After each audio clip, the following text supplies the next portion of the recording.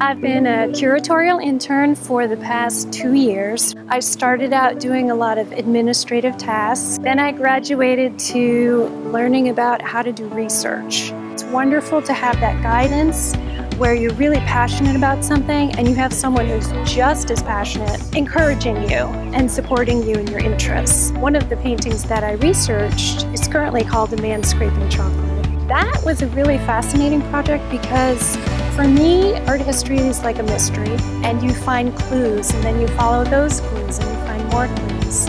And ultimately, we're going to redate the painting to before 1642. So that was a discovery. That's my most important contribution to the field of art history so far, but I'm very proud of that.